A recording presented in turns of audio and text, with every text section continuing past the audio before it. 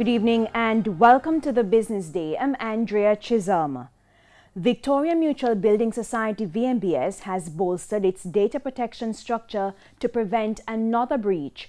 Earlier this year, the names, home addresses, TRNs, and equity account numbers of over 5,000 customers were included in an email sent to just under 200 customers. Chief Executive Officer Courtney Campbell says stricter measures are now in place. We have since implemented restrictions to prevent mass emails to a list of recipients. Emails are now screened as part of our data loss prevention mechanism to identify information which should not be released and to hold the data for the next level approval. The company has completed its review and is now in the process of aligning its practices with international standards uh, engaged the best external consultants to provide independent expertise in reviewing our information security protocols.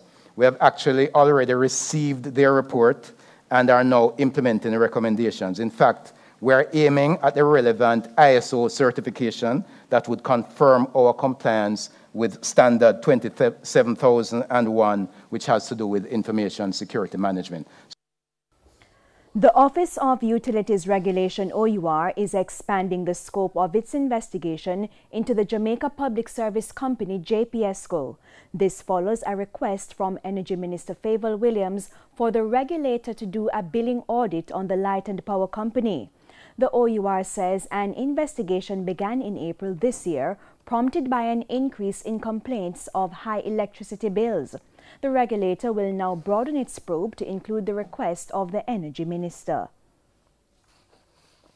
Caribbean Airlines suffered a 14.2 million US dollar loss in six weeks due to the COVID-19 pandemic. The estimated losses were racked up from March 23 to April 30. Although air travel was restricted, Caribbean Airlines was still required to maintain its operating systems.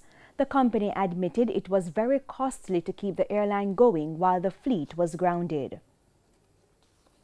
Currency trading ended today with the US dollar selling for $140.06, the Canadian dollar $106.14.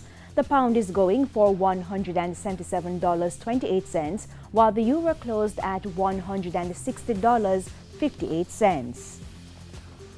The JSE index lost 3,134 points today and the junior market index is down 46 points. Among the winners, Access Financial Services, The Lab, First Rock Capital Holdings Jamaican dollar shares, Jetcon Corporation, and First Rock Capital Holdings US dollar shares.